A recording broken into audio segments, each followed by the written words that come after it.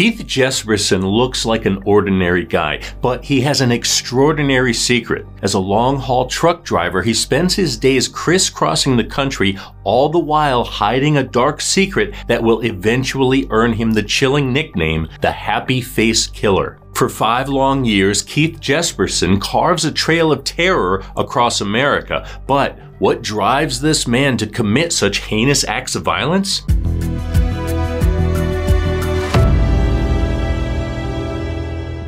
It's January 21st, 1990. A pretty 23 year old girl named Tanya Bennett is found in a ditch near the Columbia River Gorge in Oregon. She's been violated and beaten beyond recognition. A rope is tightly tied around her neck. For one woman, Tanya's body means one thing escape. 57 year old Laverne Pavlinac had a problem. Her boyfriend, John Sosnovske, wouldn't stop hitting her. They'd been together for 10 long years, and Laverne couldn't seem to shake him. Then, Tanya's body turned up, and the police had no leads. Laverne decided to help them catch a killer. She placed a call to two of the Oregon detectives on Tanya's case to say she had sensitive information that could help them close it. A woman's purse was left in the trunk of her car, she claimed. Inside was a torn piece of someone's jeans. She told them how her boyfriend, John Sosnovske, had been abusing her for years. And to really hammer the point home, she told them she'd overheard John bragging about Tanya's murder. The detectives were skeptical, and the purse and the jeans didn't match their victims. But then again, why would Laverne know the details unless she really did know the killer? They say Use what you know. And Laverne knew true crime, TV murder mysteries, movies, books, you name it, she consumed it. Other women may have used all those whodunits to plot John's perfect murder, except Laverne wasn't the type. But the cops needed a killer, and she needed John gone for good. Laverne consumed everything she could about Tanya's murder. She read the newspapers, watched the interviews, and pieced together a bulletproof story. When detectives seemed skeptical, she leaned in.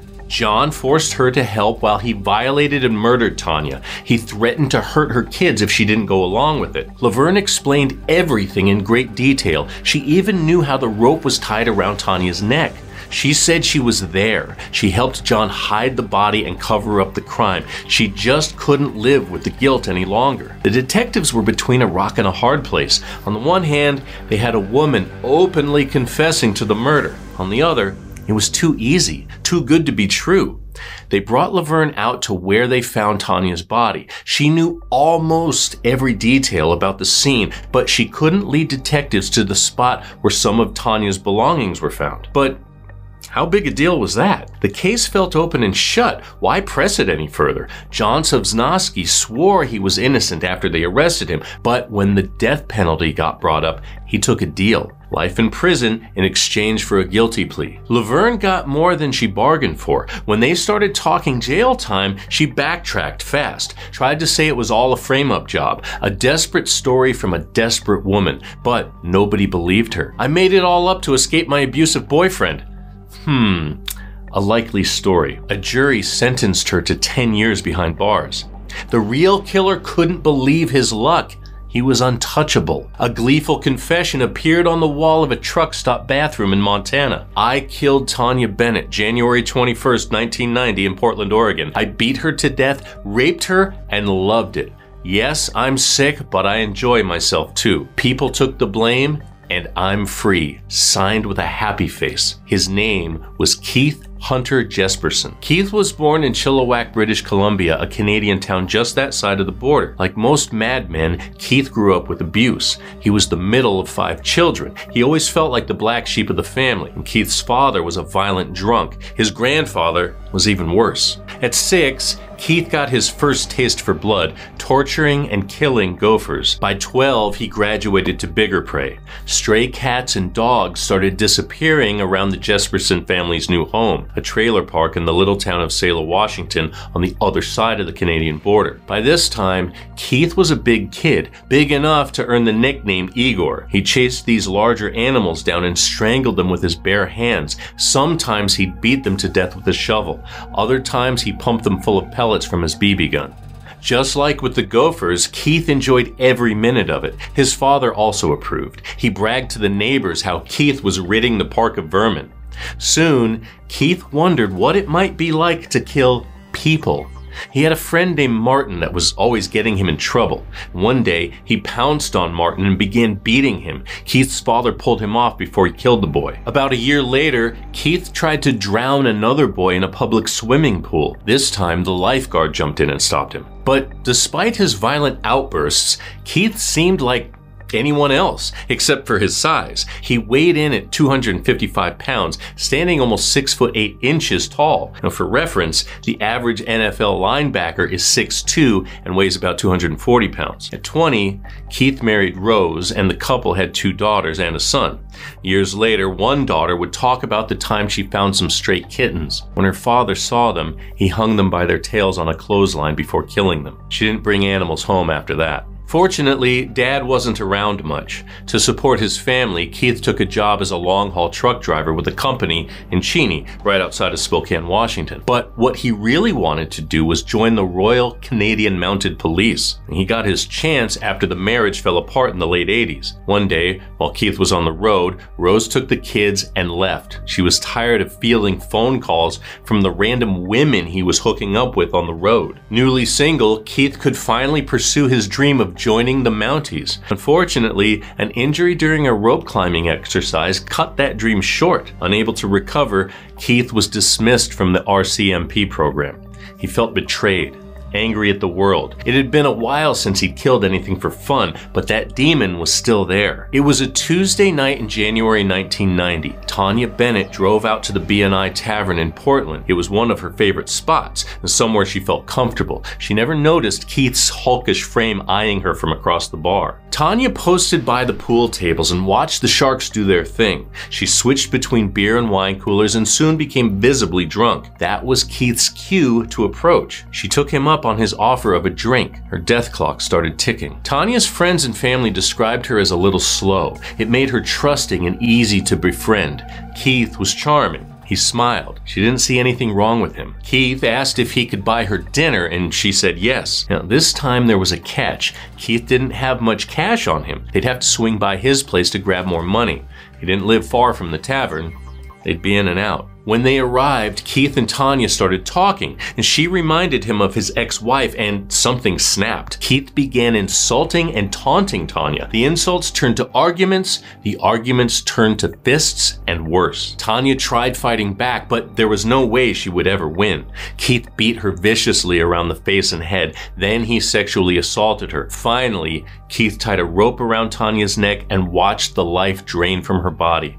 Her half naked corpse slid to the floor. Keith never panicked. Instead, he drove back to the tavern and got himself another drink, made sure he talked loud and laughed louder so everyone knew he was there. He figured he knew how to kill someone and get away clean, but you just never know. Better to have an alibi and not need one, right? Once satisfied, he returned home and loaded Tanya's body into his car. He drove past the city limits all the way to the Columbia River Gorge. He pulled over and waited until he couldn't hear another car. When he was satisfied he was alone, Keith dragged Tanya's body from the back seat and threw her over the embankment. On his way back, he tossed the contents of Tanya's purse into a bush by the Sandy River. Then he hit a coffee shop to build up his alibi. A guy riding his bike noticed her body several days later. It hit the papers and got Laverne's attention. She and her abusive boyfriend went down for the crime, leaving the happy faced killer free to kill again. Keith's trucker job gave him the perfect cover story. He could freely drive around the country, kill as he pleased, and be gone the next day. He targeted sex workers and single travelers mostly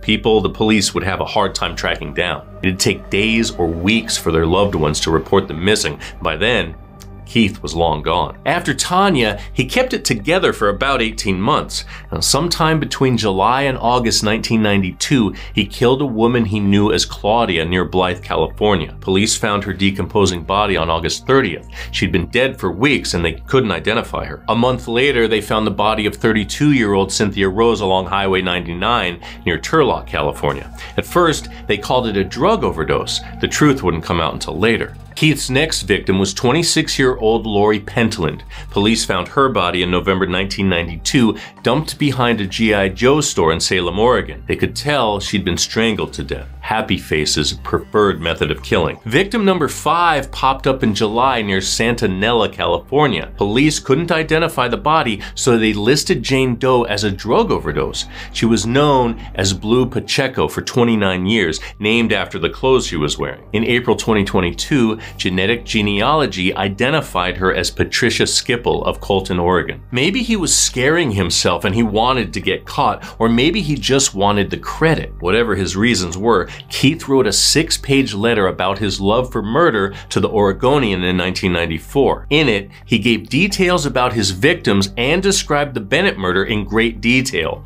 things only the killer could know. He also wrote this Tanya was my first, and I thought I would not do it again, but I was wrong. While driving, I learned a lot and heard of people that have gotten away with such a crime because of our nomad way of life. Like his bathroom wall confession, Keith signed the letter with a smiley face. It prompted Phil Stanford, the journalist working on the story, to dub him the Happy Face Killer. Victim number six, another Jane Doe, was found outside Crestview, Florida. A highway road crew was working along the Florida panhandle when they discovered the body. She'd been dead for over a year. Her remains were mostly bone, but a cord was still wrapped around her neck. He later told police he thought her name was Suzanne. More happy face letters came into the Oregonian. The killer took credit for Cynthia Rose. He said she was a sex worker he'd gotten rid of. In January 1995, Keith picked up 21 year old Angela Subrize outside Spokane, Washington. She said she needed a ride to Fort Collins, Colorado to see her dad. Keith agreed and they hit the road. Along the way, Keith pulled into a truck stop so Angela could call her father. As the story goes, Angela's father told her not to come. He wanted nothing to do with her. A heartbroken Angela asked Keith to drive her to Indiana instead. She had friends there she could stay with. They pulled into another truck stop east of Cheyenne, Wyoming to rest for the night. And Keith wanted to sleep, but Angela wanted to keep going. So Keith pressed his monster fist into Angela's throat until she stopped breathing. Then he fell asleep. He woke up three hours later and drove to a more secluded rest area in Nebraska. There, he bound Angela's body with black nylon rope and tied her face down under his truck. He dragged the body along the hot highway for 10 or 11 miles before she came loose. Keith tossed Angela's body off the side of Interstate 80. No chance anyone would be able to ID her now. They were about 250 miles east of the truck stop where she died. Keith's eighth and final victim is the one who took him down. He'd been dating a 41 year old woman named Julie Winningham during the winter of 1995. Her friends and family knew who Keith was, so when Julie turned up dead, everyone pointed the finger at her giant boyfriend. Detectives tracked Keith to New Mexico with a little help from his trucking company. They questioned him about Julie's murder, but didn't have enough evidence to make an arrest. And Keith continued on his route to Arizona, but he couldn't shake the paranoia. It was already over in Keith's mind. The cops were coming back he was going to jail. He tried to kill himself twice in March. Both times he took enough sleeping pills to kill an average man. Instead, Keith just woke up well rested. On March 24, 1995, Keith wrote a letter to his brother. In it, he wrote, I am sorry that I turned out this way. I have been a killer for five years and have killed eight people, assaulted more. Keith turned himself in after dropping the letters in the mailbox. His letters and Keith's confessions helped police departments around the country solve several happy face killer cases. Keith's information led police to Angela's body in September 1995. Her skin was mostly decayed. They could only identify her by a Tweety bird tattoo on her ankle. Back in Oregon, detectives were busy comparing the happy face letters to the paper with the letters Keith sent to his brother. The handwriting matched. Keith also revealed details details that only the killer would know. For example, he wrote how one of the California victims was bound with duct tape around her hands and feet. The police never made that fact public. In another letter, Keith said he wanted to be caught and thrown in jail. He mentioned replacing that man in the Oregon State Penitentiary. That man was obviously John Sosnovske. He finished that letter by saying, Most people will say I am a monster. I am not a monster. Just like the movie Jurassic Park, I was created by people. The dinosaur comparison was up for debate. Still, Keith had a point about John and Laverne. They'd been in jail since 1990 for a crime they didn't commit. Those who convicted them were positive they had the right people. They weren't about to listen to Keith. He had to prove he killed Tanya Bennett. So Keith led the police to the bush by the Sandy River. There, they found Tanya's purse, ID, and other personal stuff. At Tanya's gravesite, Keith gave details that, again, only the killer would know. Keith liked toying with the media. He wrote more letters from prison claiming he'd killed 160 people across the United States. At one point, he even tried to take credit for some of the Green River murders between the 1980s and 90s. Keith eventually pled guilty to killing Julie, Tanya, and Lori. He was handed three life sentences, but his time in court wasn't done yet. Angela's case still lingered in Wyoming. Keith could still get the death penalty, but our killer wasn't ready to go out that way. Keith played games with the prosecutors in Wyoming. He kept changing his story and threatening to drag them into a long and costly murder trial. It wasn't worth playing along. They made a deal in June of 1998. Keith would plead guilty to murdering Angela if Wyoming took the death penalty off the table. Laverne and John walked out of jail in November 1995. She died of heart failure in 2007. John died in 2013. Meanwhile, Keith Jesperson is still alive and well at the Oregon State Penitentiary probably is not wearing the happiest of faces. And that's your recap. Thanks for hanging out with us today. If you like getting all the crime in half the time, go ahead and tap that subscribe button and the bell so you never miss a story. We're here Wednesdays, Saturdays, and Sundays, but don't go away. Catch up on more recaps right here, right now. Until next time, take care.